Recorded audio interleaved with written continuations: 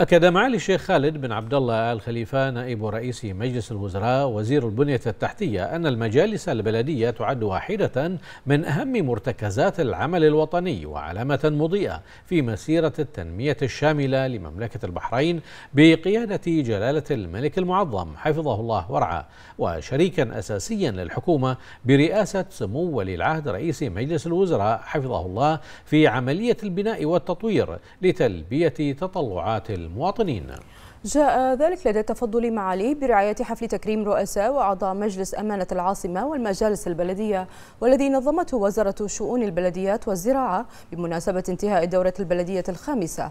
ونوه معالي الشيخ خالد بن عبد الله بإسهامات رؤساء وأعضاء مجلس أمانة العاصمة والمجالس البلدية ودورهم في تبني الاحتياجات الخدمية للمواطنين من خلال مقترحاتهم وتوصياتهم البناءة التي عكست حسن ممارسة الاختصاصات التي يطلعون بها.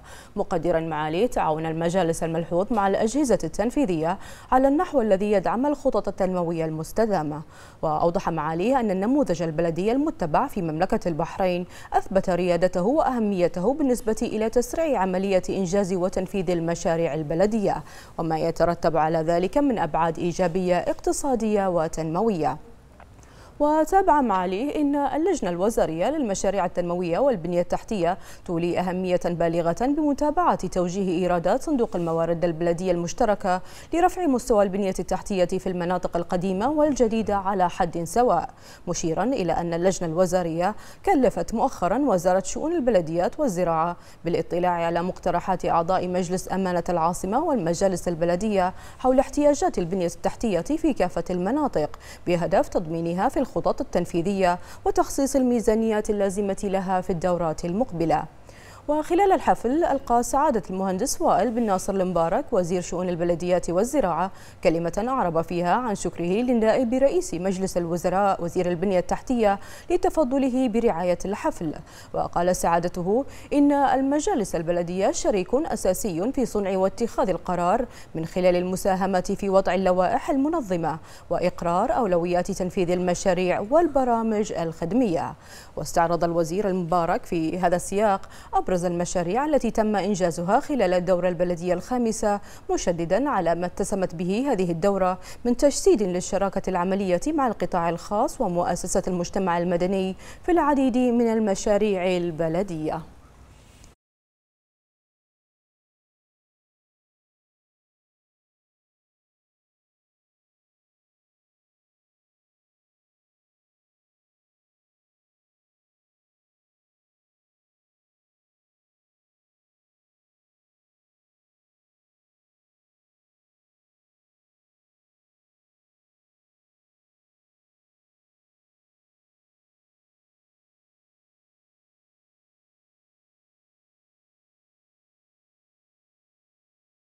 هذا الحفل تقدير لجهود السادة أعضاء ورؤساء مجلس أمانة العاصمة والمجالس البلدية على ما قاموا به.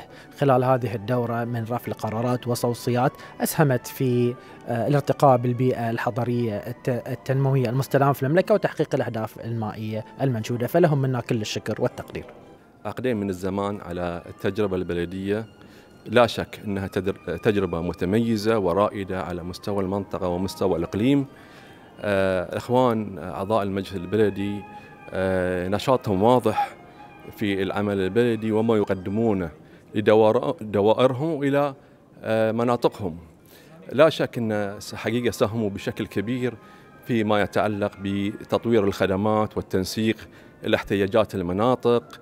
وإحنا الحقيقة يعني لاحظنا إحنا في العمل البلدي وشؤون البلديات التجاوب الكبير من الإخوان آه، أعضاء المجلس البلدي والمواطنين حقيقة أهالي الدائرة وكذلك لا ننسى الوزارات الخدمية معنا فنجاح العمل البلدي حقيقة هو فريق عمل متكامل.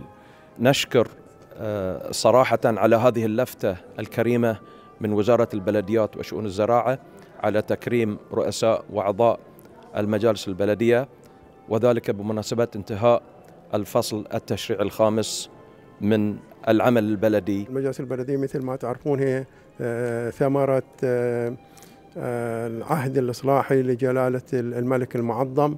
ونحن نشكر القيادة الرشيدة والحكومة الموقرة على جميع على الدعم وعلى المساندة و المساعي المخلصة والجهود الخيرة التي مكنت المجالس البلدية من أداء عملها. طبعا هذا التكريم له وقع كبير في نفوسنا نحن كأعضاء مجلس أمانة العاصمة والمجالس البلدية.